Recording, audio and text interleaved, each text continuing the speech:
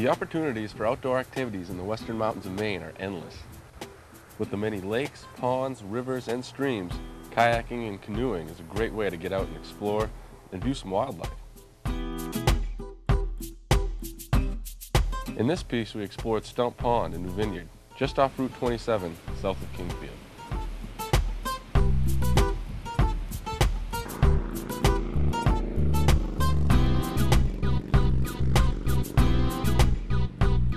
Before you head out on the water, you want to be sure you have some key items. First off, your canoe or kayak.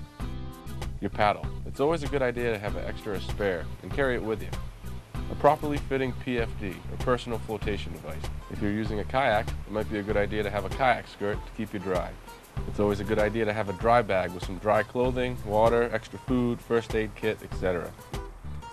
It's also imperative to have a plan. Where you're going, when you'll be back, and tell people of your plans. You also should know the weather forecast. It's no fun getting caught in a thunderstorm or lightning while out on the water. You also should know your limits. If you're a beginner, you don't want to be caught in a set of class 4 rapids. Also bring along with you a good attitude. Remember, being on the water is fun, and it's a great way to experience a piece of what the western mountains of Maine has to offer.